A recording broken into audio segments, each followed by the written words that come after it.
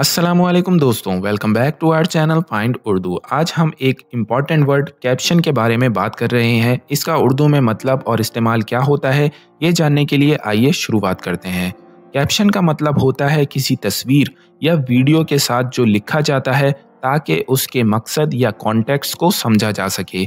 जब हम किसी इमेज या वीडियो के लिए लिखा हुआ डिस्क्रिप्शन या टाइटल देखते हैं तो हम उसे कैप्शन कहते हैं। फॉर एग्ज़ाम्पल अगर किसी ने अपनी छुट्टी की तस्वीर के लिए कोई इमेजिनेटिव या क्रिएटिव लिखा हुआ कैप्शन यूज़ किया है, ताकि उसकी फ़ोटो का मकसद या कॉन्टेक्ट्स क्लियर हो सके तो वो कैप्शन है। She wrote a heartfelt caption for the picture उसने तस्वीर के लिए दिल से भरी कैप्शन लिखा था। कैप्शन आमतौर पर सोशल मीडिया प्लेटफॉर्म्स पर इमेजेस या वीडियोस के साथ शेयर किया जाता है। ताकि वो इमेज या वीडियो का मकसद या मैसेज समझने में मदद कर सकता है।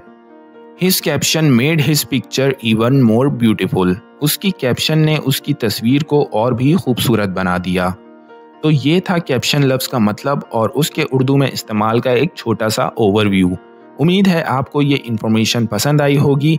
मिलते हैं अगली वीडियो में। खुदा हाफिज़।